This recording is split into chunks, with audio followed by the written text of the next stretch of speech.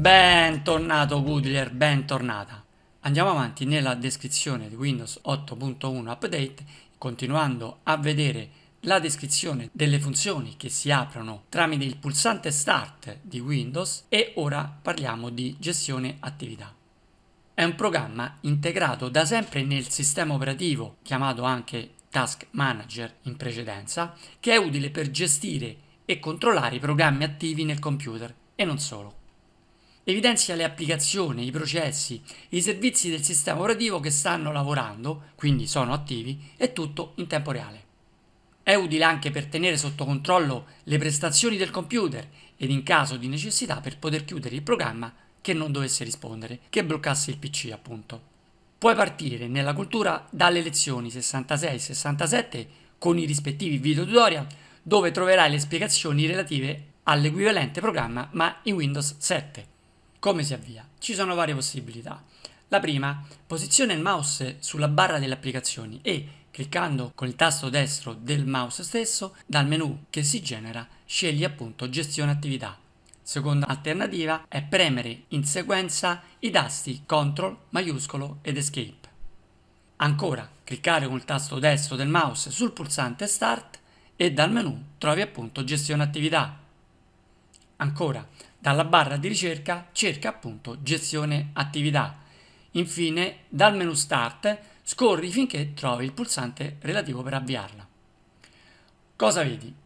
Questa è una sezione molto avanzata per le nostre capacità, in quanto presenta alcune sezioni che vanno nel profondo del sistema operativo.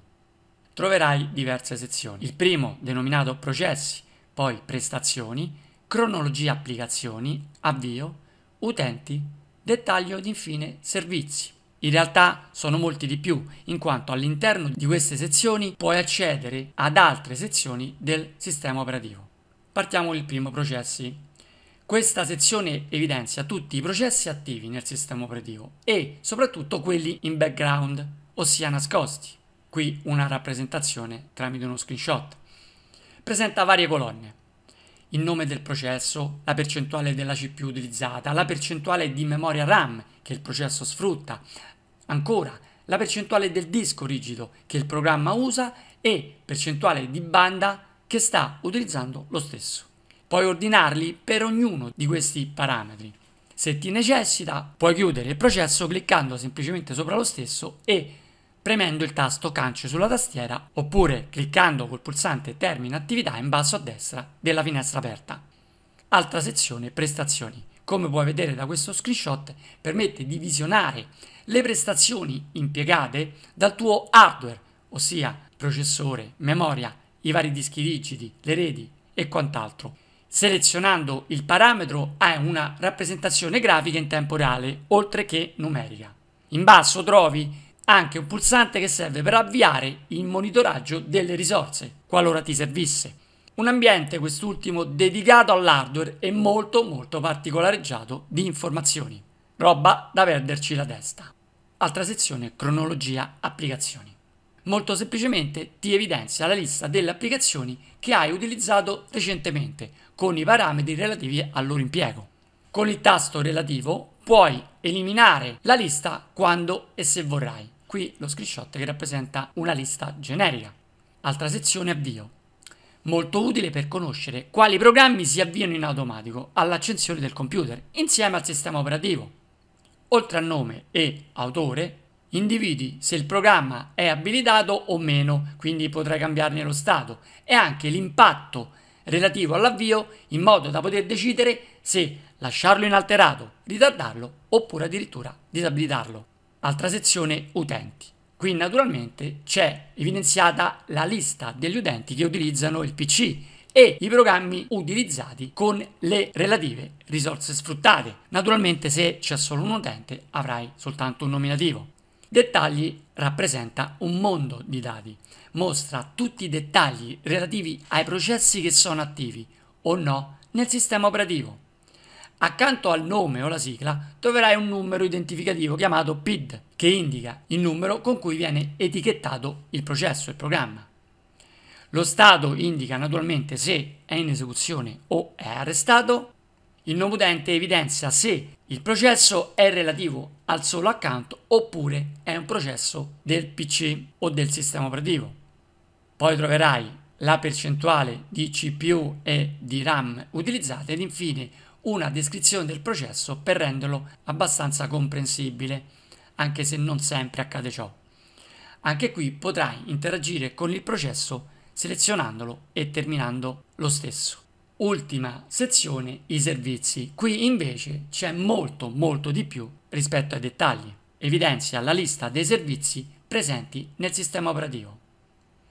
Nelle colonne troverai il nome abbastanza incomprensibile con relativo codice identificativo, un'utile descrizione del compito svolto dal servizio, successivamente lo stato se in esecuzione oppure è fermo, è arrestato e che quindi puoi cambiare qualora ti servisse o meno ed infine il gruppo a cui appartiene il servizio, se è un servizio locale, se è un servizio di rete, di ottimizzazione, eccetera.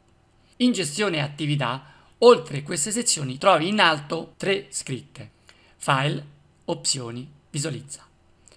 La prima ti permette di uscire dal programma oppure avviare una nuova attività seguendo il comando che già conosci, comando esegui, che hai visto nella lezione 155 e rispettivo video tutorial.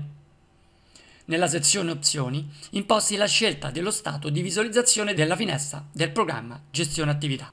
Puoi mantenere la finestra sempre in primo piano anche se hai aperto altri programmi, oppure potrai scegliere di ridurlo ad icona nascosta nella Sistray oppure nella barra delle applicazioni se dovessi minimizzare la finestra.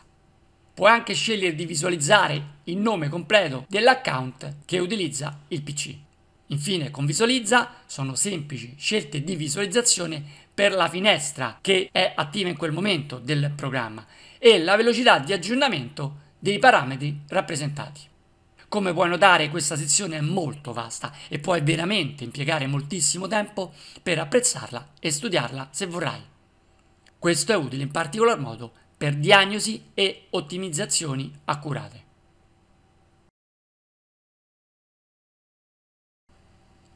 Bene Google, andiamo a vedere come si avvia gestione attività. Esempio più rapido, barra delle applicazioni, tasto destro, gestione attività.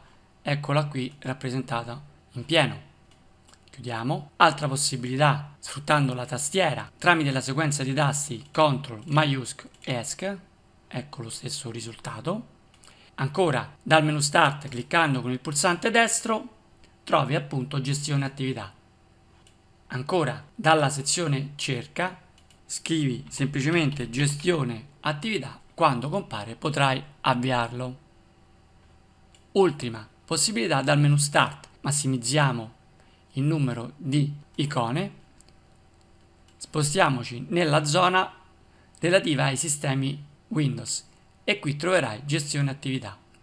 Una volta aperto si presenta come l'insieme di varie sezioni che man mano andremo a vedere. Nella prima sezione processi trovi evidenziati tutti i processi che sono attivi nel sistema operativo, in questo caso nel mio computer. Hai indicazioni relative alla percentuale totale e parziale che il relativo programma impiega, stesso discorso per la memoria, come puoi vedere attualmente il processo di registrazione utilizza abbastanza memoria, la percentuale di disco che viene utilizzata in questo caso e la percentuale di rete in questo specifico momento non sto navigando perché sto registrando questa lezione. Puoi anche ridurre il numero di dettagli se tu vorrai.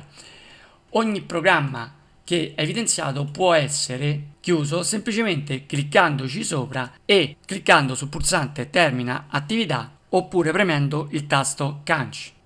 Come puoi vedere è stato rimosso. Dove trovi i programmi con accanto una freccia significa che hanno anche sottosezioni per migliorare eventualmente la comprensione di ciò che sta eseguendo il programma. Puoi decidere anche di ordinare questa lista in base al nome per ordine alfabetico, naturalmente suddiviso per categoria, oppure per consumo di CPU, di memoria, di disco e quindi in pratica a seconda di come piace a te. La seconda sezione prestazioni ti permette tramite una grafica e dei numeri ottenere informazioni utili all'impiego dell'hardware del tuo computer sotto forma grafica e sotto forma numerica, fornendoti dei dati che possono tornarti utili. Qui trovi anche il pulsante apri monitoraggio risorse che avvia naturalmente il monitoraggio delle risorse del computer e come detto è un mondo abbastanza popolato di informazioni. Puoi scegliere di evidenziare il tipo di hardware che devi monitorare in base alle tue necessità. Puoi decidere di evidenziare tutti questi parametri tramite una piccola finestra in dettaglio che puoi tenere parcheggiata mentre svolgi altre operazioni. Puoi nascondere i grafici da questa sezione o copiare i parametri. Altra sezione cronologia applicazioni. Hai semplicemente la lista delle applicazioni che sono state utilizzate di recente ed eventualmente potrai eliminare questa cronologia azzerando tutti i parametri. La sezione avvio indica quali programmi si avviano contestualmente all'accensione del computer e oltre al nome e l'autore che genera, che produce questo programma, trovi anche lo stato che puoi naturalmente variare tramite il pulsante destro per poter individuare meglio l'utilizzo ed eventualmente anche l'impatto che esegue questo singolo programma all'accensione del computer. Tramite il pulsante proprietà ottieni le informazioni relative al programma stesso, mentre tramite apri percorso file andrai ad individuare dove è posizionato l'eseguibile. Altra sezione utenti, naturalmente a questo computer collegato solo il mio account e troverò la lista dei programmi che sto utilizzando con il relativo impiego di risorse.